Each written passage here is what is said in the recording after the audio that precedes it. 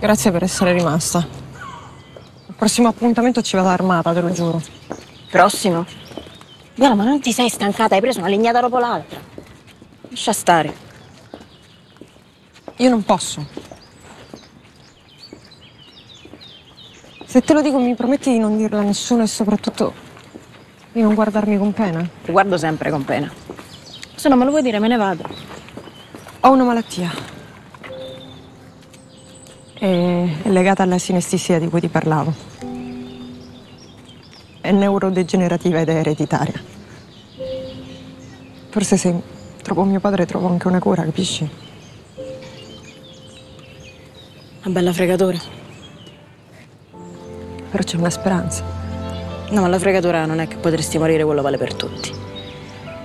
È che per curarti hai bisogno di uno stronzo che non si fa trovare. Forse mio padre non ha visto l'annuncio.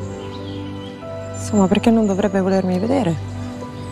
Perché le cose non vanno mai come vorremmo.